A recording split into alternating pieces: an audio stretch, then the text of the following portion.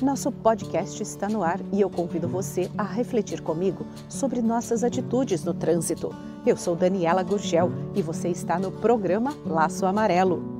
Hoje quero fazer uma reflexão com você.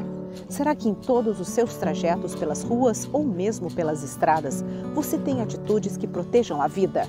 Será que ao pisar no acelerador ou mesmo sentado dentro de um transporte público, você tem a consciência de que suas atitudes podem machucar alguém? Pois é, nesse mês de novembro, onde celebramos o Dia Mundial em Memória às Vítimas do Trânsito, vamos lembrar que o Brasil ainda é o quarto país que mais mata no trânsito e que a cada 20 minutos um brasileiro morre, vítima de um sinistro de trânsito. Será que você está pronto para ajudar a mudar esse quadro? Lembre-se, um trânsito seguro se faz com boas escolhas e que a melhor que você pode fazer é escolher a vida. Respeito e responsabilidade. Pratique no trânsito.